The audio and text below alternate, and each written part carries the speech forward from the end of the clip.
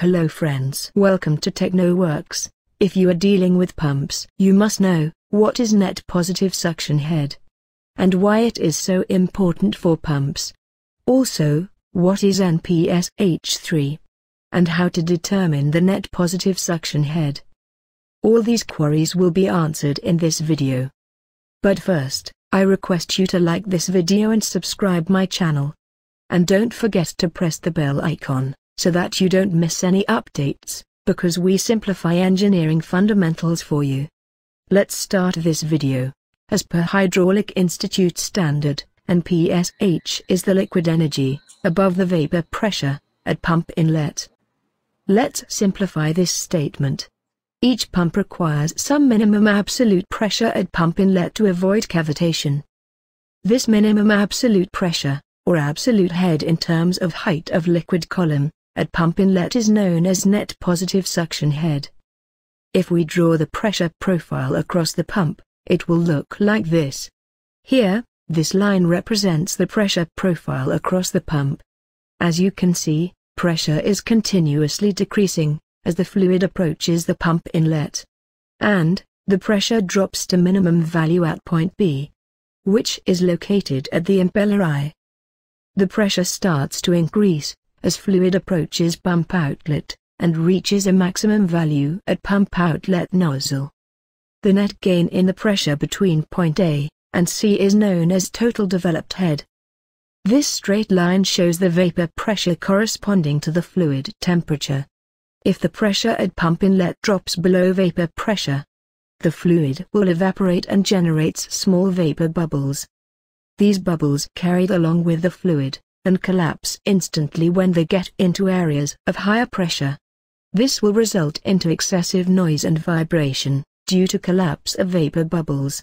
Also, it will damage the pump impeller and casing due to erosion. This whole phenomenon is known as cavitation. This minimum absolute pressure, at the pump inlet, which is above the vapor pressure represents the net positive suction head available.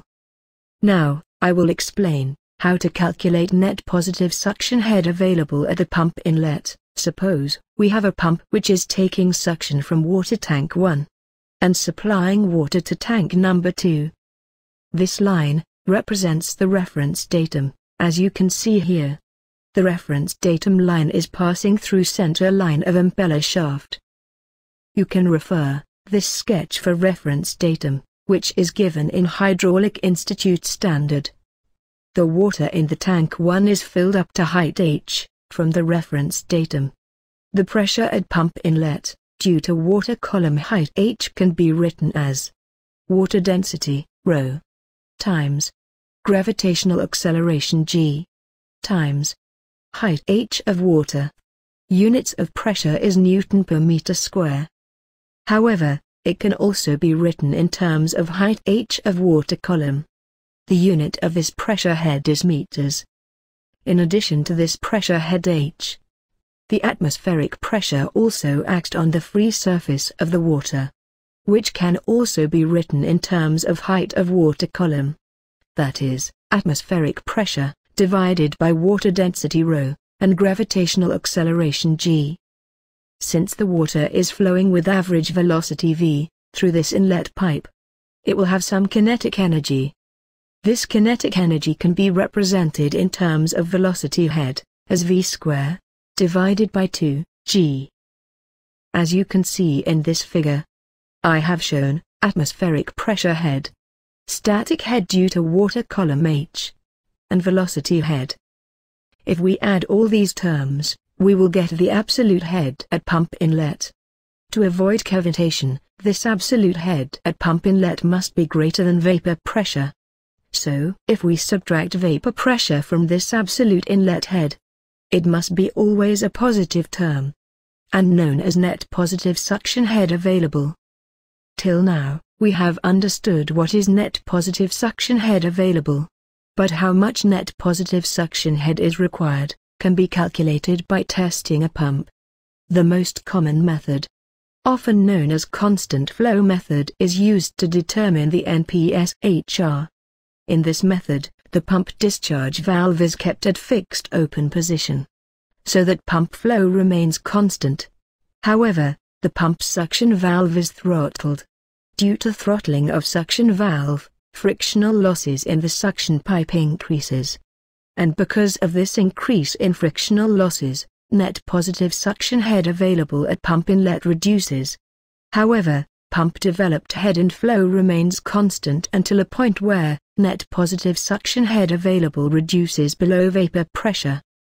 After each throttling of suction valve, pump manufacturer notes down the total head developed by the pump, and net positive suction head available.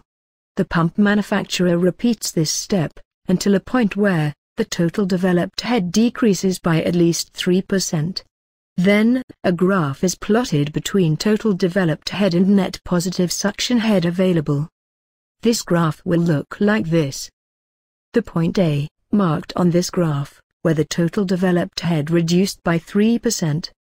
The net positive suction head available corresponding to this point A, is known as net positive suction head required. It is also known as NPSHR3. The ratio of net positive suction head available, and the net positive suction head required is known as NPSH margin ratio. This ratio normally lies between 1.1 to 1.5. As you can see here, NPSH margin ratio depends on multiple parameters like type of pump and its application.